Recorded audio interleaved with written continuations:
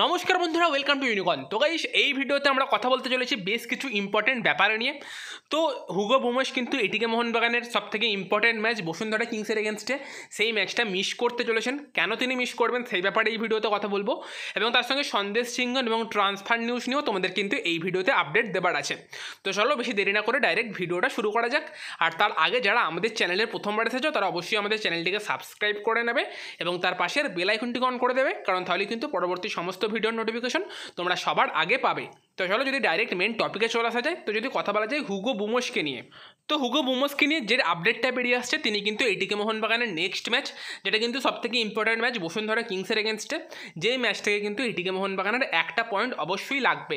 তো সেই ম্যাচটাই কিন্তু হুগো বুমোস আর কি মিস করতে চলেছেন মোস্ট প্রবাবলি তো মোস্ট প্রবাবলি বলতে আর কি সেটা হবার চান্সেস সব থেকে বেশি। তার কারণ হচ্ছে হুগো বুমোসকে নিয়ে যে আপডেটটা বেরিয়ে আসছে, সেটা হচ্ছে হুগো বুমোস কিন্তু কালকের ম্যাচেও একটা ইয়েলো কার্ড কনসিড করেছেন।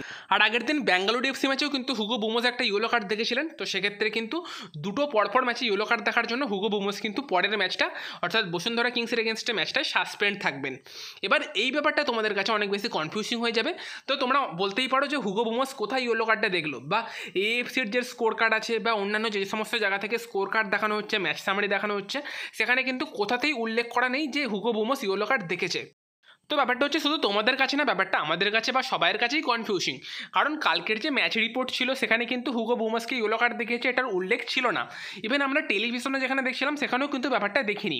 বাট যেটা রেফারির রিপোর্ট বেরিয়েছে বা যেটা অফিসিয়াল ম্যাচ সামারি বেরিয়েছে, তো সেখানে কিন্তু দেখানো আছে যে হুগো বুমাস ইয়েলো কার্ড দেখে, আর কি দেখেছে। ইভেন রেফারি তার রিপোর্টেও কিন্তু জানিয়েছে যে, তিনি হুগো বুমাসকে ইয়েলো কার্ড দেখিয়েছেন।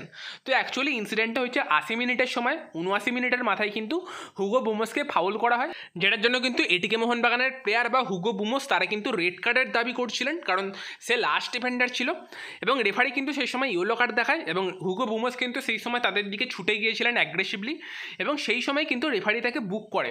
এবং তোমরা যদি দেখো যে উনআশি মিনিট তিরিশ সেকেন্ডের মাথায় কিন্তু প্রীতম কোটাল রেফারির সঙ্গে কথাবার্তা বলছিলেন এবং রেফারি সেই সময় কারোর নাম বুক করছিলেন এবং তখন কিন্তু হুগো বুমোস সামনে ছিল।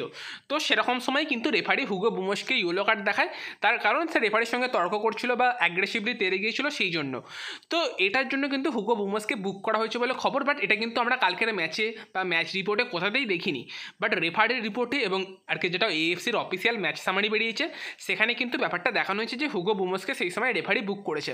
ইভেন এটিকে মোহনবাগান ম্যানেজমেন্টের তরফ থেকেও কিন্তু এএফসির কাছে ব্যাপারটার ক্ল্যারিফিকেশন চাওয়া হয়েছে। তো যত কনফিউশন তৈরি হয়েছে, সেটা কিন্তু এএফসির জন্যই তৈরি হয়েছে। কারণ এএফসি যেখানে স্কোর কার্ড দেখিয়েছে বা তাদের যেটা ম্যাচ রিপোর্ট দিয়েছে, সেখানে কিন্তু উল্লেখ করা নেই যে হুগো বুমোস ইয়েলো কার্ড দেখেছেন।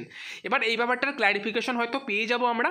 বাট যদি রেফারি আর কি হুগো বুমোসকে ইয়েলো কার্ড দেখিয়ে থাকে, যেটা তিনি দেখিয়েছেন, তো তাহলে কিন্তু সেটার ওভারটার্ন হওয়ার চান্স কম। মানে হুগো বুমোস কিন্তু পরের ম্যাচটা সাসপেন্ড থাকবেন। এবার এখানে ব্যাপারটা হচ্ছে যে হুগো বুমোসের কিন্তু অ্যাটিটিউড নিয়ে প্রশ্ন উঠবেই। তার কারণ হচ্ছে হাবাস থেকে কালকে কেন প্রথম থেকে খেলায়নি? তার একটাই কারণ যে হুগো বুমসকে যেন সব থেকে ইম্পর্টেন্ট ম্যাচ বসুন্ধরা কিংস সেই ম্যাচে যেন হাবাস পায়। যাতে হুগো বুমস চোট না পেয়ে যায় বা তিনি তর্কাতর্কি করে যান, যেন ইয়েলো কার্ড না দেখেন। কারণ হুগো বুমসের কিন্তু একটা টেন্ডেন্সি আছে রেফারির সঙ্গে অযথা তর্কে জড়িয়ে পড়ে কিন্তু কার্ড দেখার। যেখানে কিন্তু তোমরা জানো যে আইএসএলে অনেকগুলো ম্যাচ থেকে সাসপেন্ড করেছিল। লাস্ট ম্যাচ যেটা ব্যাঙ্গালোর ডেপসের এগেনস্টে ম্যাচ সেই ম্যাচেও তিনি তর্কাতর্কি করছিলেন। এবং একটা সময় রেফারি হুইসেল বাজানোর পরও তিনি বলে আর কি লাঠি মেরে তারপর ইয়েলো কার্ড দেখেন। তো এই অ্যাটিটিউডটা কিন্তু হুগো বুমসের একটা খারাপ অ্যাটিটিউড হুগো বুমসের মতো কোয়ালিটি প্লেয়ার তাকে কিন্তু প্রত্যেক ম্যাচে টিম চাইবে। তো সেখানে যদি এরকম সিলি সিলি মিস্টেকের জন্য হুগো বুমস ইয়েলো কার্ড দেখে, সেটা কিন্তু অবশ্যই টিমকে হার্ট করবে। যেমন যেটা সব থেকে বেশি ইম্পর্টেন্ট ম্যাচ বসুন্ধরা কিংসের এগেনস্টে সেই ম্যাচে কিন্তু এটিকে মোহনবাগান তাদের সব থেকে মেন অস্ত্রটা পাবে না। জাস্ট সিলি মিস্টেক তরাকাতরকি করে ইয়েলো কার্ড খাবার জন্য। তো সেখানে কিন্তু অবশ্যই হাবাসও কিন্তু বুমসের উপর খুব একটা খুশি হবে না। কারণ হাবাস কিন্তু তাকে অনেক বুঝিয়ে সুঝিয়েই নামিয়েছিলেন যে সে যেন তর্কাতর্কিতে না জড়িয়ে পড়ে বা ফালতু ইয়েলো কার্ড না কনসিড করে। বাট সেটা কিন্তু হুগো বুমস করেছেন। ইভেন কালকে মাঝে মধ্যেই মনে হচ্ছিল যে হুগো বুমস ইয়েলো কার্ড খেয়ে যেতে পারে। তো সেখানে কিন্তু হুগো বুমস বসুন্ধরা কিংসের এগেনস্টে ম্যাচটা না খেলার পসিবিলিটি বেশি সব থেকে এবার যদি পরবর্তীকালে অন্যরকম কোনো আপডেট আসে, তোমাদের অবশ্যই জানিয়ে দেবো। বাট এই মুহূর্তে কিন্তু হুগো বোমাসের পরের ম্যাচটা না খেলার চান্সেস সব থেকে বেশি। আর সেটা কিন্তু এটিকে মোহনবাগানের জন্য একটা বড় ধাক্কা হবে। কারণ যেই সময় দাঁড়িয়ে হুগো বুমোস ইয়েলো কার্ড কনসিড করেছে, সেই সময় টিম কিন্তু তিন এক বলে এগিয়েছিল কোনো দরকার ছিল না এইভাবে ফালতু ইয়েলো কার্ড কনসিড করার। তো যাই হোক, এই ব্যাপারে পরবর্তীকালে কোনো আপডেট পেলে তোমাদেরকে অবশ্যই জানিয়ে দেবো। এরপর যদি কথা বলা যায় সন্দেশ সিংগেনকে নিয়ে, তো সন্দেশ সিংগেনকে নিয়েও কিন্তু খুব একটা ভালো আপডেট বেরিয়ে আসছে না।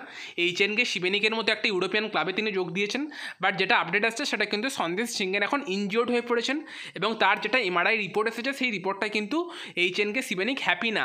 তো তাকে কিন্তু দু সপ্তাহের মতো রেস্ট দেওয়া হচ্ছে এবং সন্দেশ সিংহেনকে কিন্তু আমরা এখন আর কি এইচ এনকে সিবেনিকের হয়ে খেলতে দেখতে পাবো না, কারণ তার একটা ইঞ্জুরি আছে এবং তার কিন্তু এমআরআই টেস্টে সেরকমই রিপোর্ট এসেছে যে তাকে কিন্তু এখন দু সপ্তাহ রেস্টে থাকতে হবে। তো তার পরবর্তীকালে ঝিঙ্গেনকে নিয়ে কি আপডেট আছে সেটা তোমাদের জানিয়ে দেবো অবশ্যই বাট এখন কিন্তু ঝিঙ্গেন টিমের হয়ে নামতে পারবেন না।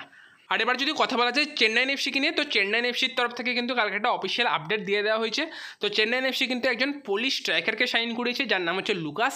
যিনি কিন্তু একজন তেত্রিশ বছর বয়সী সেন্টার ফরওয়ার্ড যিনি কিন্তু এর আগেও এশিয়াতে খেলার এক্সপিরিয়েন্স আছে। সৌদি আরব, বাহরেইন ইউএই বা তার সঙ্গে কিন্তু থাইল্যান্ডের বেশ কিছু ক্লাবে তিনি খেলেছেন। তো তাকে কিন্তু অফিসিয়ালি অ্যানাউন্স করে দেওয়া হয়েছে। তো চেন্নাইন এফসি নতুন স্ট্রাইকার কিন্তু তিনিই হচ্ছেন। আর এর সঙ্গে তোমরা অনেকেই কোমল থাডালকে নিয়ে জিজ্ঞেস করতে থাকো। তোমাদের অনেকদিন আগে জানিয়ে দিয়েছিলাম যে কোমল থাডাল কিন্তু জামশেদপুর এফসিতে যাচ্ছে। তো সেটার কিন্তু অফিসিয়াল অ্যানাউন্সমেন্ট জামশেদপুর এফসির তরফ থেকে চলে এসেছে। তো কোমল থাডাল মেবি তিন বছরের কন্ট্রাক্টে কিন্তু জামশেদপুর এফসি টিমে যোগ দিচ্ছে। মানে দু হাজার চব্বিশ সাল পর্যন্ত কিন্তু তার কন্ট্রাক্ট থাকছে জামশেদপুর এফসির সঙ্গে। তো এর আগে কিন্তু তিনি দু হাজার আঠারো মরশুম থেকে দু হাজার একুশ মরশুম পর্যন্ত কলকাতায় ছিলেন দেন এখন কিন্তু তিনি জামশেদপুর এফসিতে যাচ্ছেন। তো এটা ছিল কমল থাড়ালকে নিয়ে আপডেট এবং এই আপডেটগুলোই তোমাদেরকে এই ভিডিওতে দেবার ছিল। তো যদি ভিডিওটা ভালো লাগে তো ভিডিওটা অবশ্যই লাইক করে দিও শেয়ার করে দিও, আমাদের চ্যানেলে প্রথম আলাদা চ্যানেলটিকে সাবস্ক্রাইব করে তার পাশের বেল আইকনটিকে অন করে দিও। তো চলো গাই সেই ভিডিওতে এই পর্যন্তই বাই বাই